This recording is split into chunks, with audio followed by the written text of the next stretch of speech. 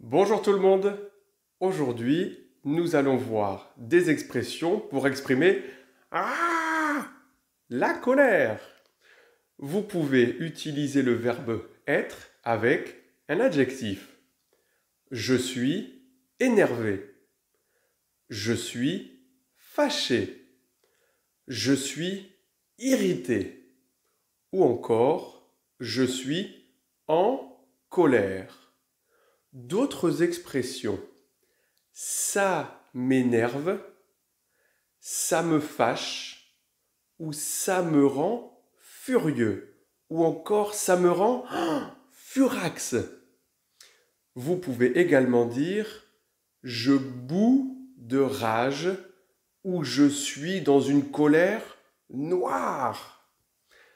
Pour pratiquer, un exercice dans la description. À demain tout le monde